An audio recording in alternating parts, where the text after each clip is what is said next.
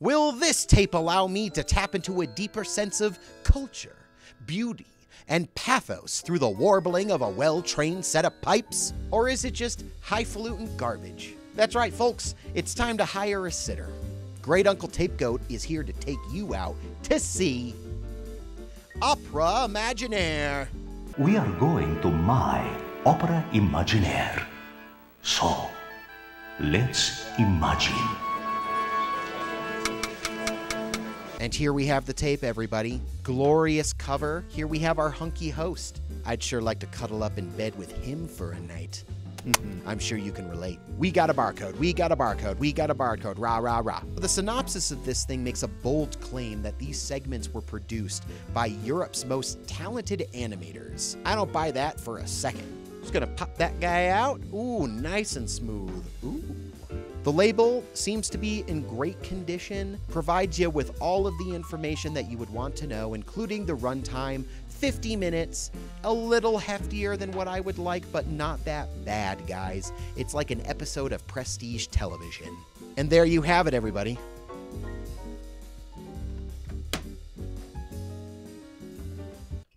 The tape.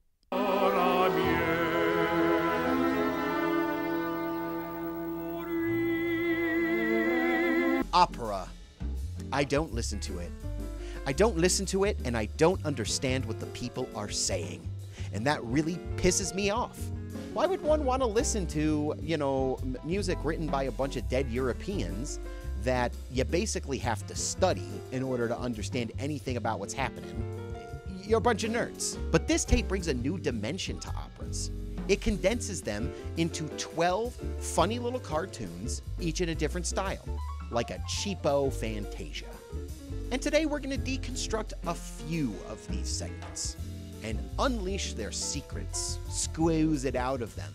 Before we get to the meaty core of this slab of lamb, let's get introduced to our hunky hero of a presenter. For all intents and purposes, we're to call him Beef Daddy. Big Daddy gets us all nice and lubed up for the hot and sticky opera jams. Good evening, ladies and gentlemen. Welcome. Welcome to a gala for a very special occasion.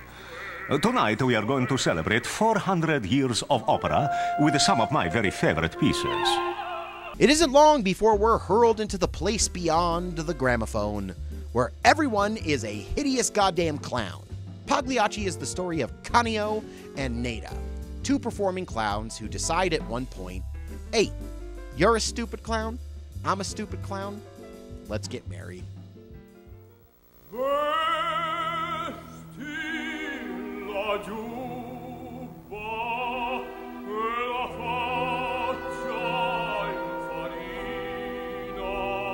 Canio thinks everything is going great, but I guess Nedda? She's just too damn thirsty, my guy.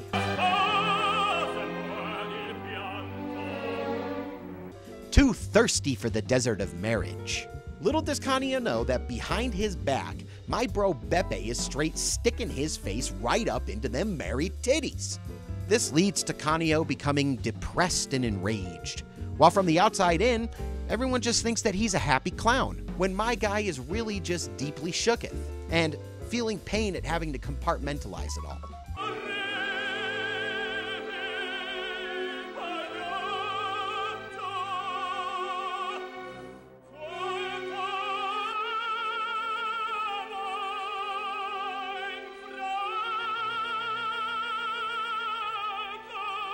He ends up storming the stage, and in what seems at first to be a part of the act turns out to be really murder.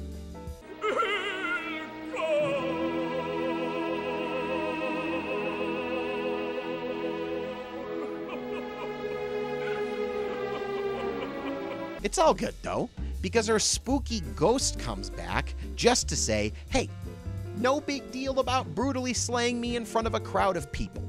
Now that I'm a ghost, let's hug it out, champ. Oh boy, here comes Beef Daddy once more. You may have heard of the jester Rigoletto. Well, his daughter is in love with the Duke of Mantua. I mean, what can I say about this one? It is a testament to a man's love for being surrounded by many bare breasts. Women's breasts. This Italian canzone is from the opera Rigoletto by Giuseppe Verdi. It is officially known in America as Ra Ra Ra Boom Die. La donna è mobile, qual piuma al vento, muta d'accento di pensiero. This one features the Duke of Mantua, who is sipping on a robust red. What we're about to learn is that the Duke of Mantua is a right dirty old piggy who is chronically preoccupied with thoughts of boobies. It doesn't take many sips before my guy straight disappears into a world of dancing naked ladies. Luckily, they always seem to remain just outside of his lecherous grasp.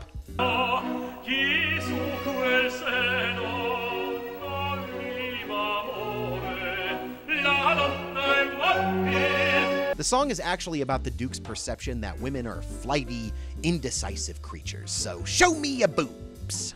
And that's a literal translation from the original Italian, so believe me. Ah, Lakme. I can smell that jasmine. Mm, it is heady perfume for a young British officer, and the jungle's full of dangerous secrets as well as beauty.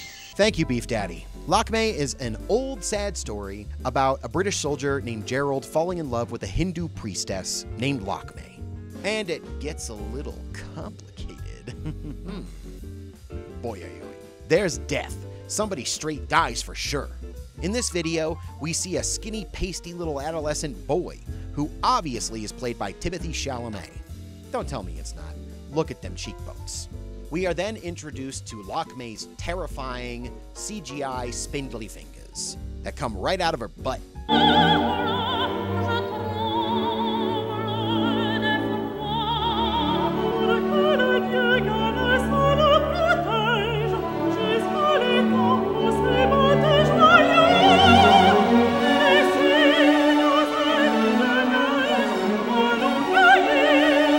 Turn into snakes and leopards. Oh.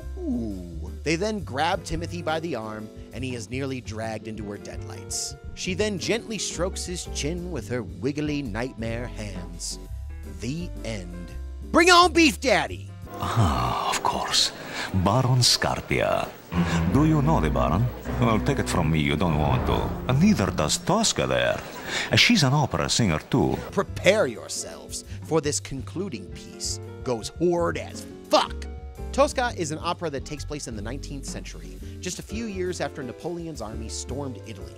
The play concerns the plot of a painter, Cavaradot, who gets caught in the crossfire trying to help his old friend, political fugitive Angelotti, escape from Scarpia, the chief of police. Cavaradossi is subsequently arrested, tortured, and sentenced to death. All the while, his love interest, Tosca, who is the namesake of the play, is attempting to arrange his freedom. This next piece features Cavaradossi just chilling in his cell while this super metal angel of death watches over him.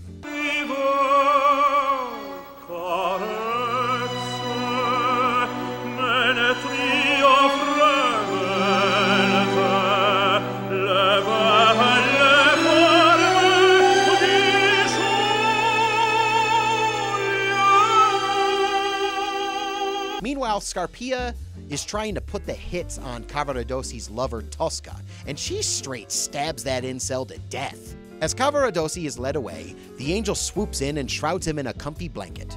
Yaw. This turns him into a space god surrounded by birds.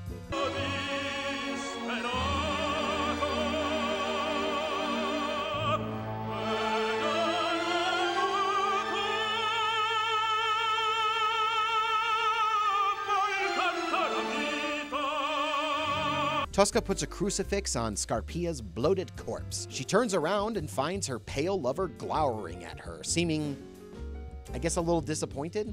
I don't know. I know that in the opera, Cavaradossi straight dies.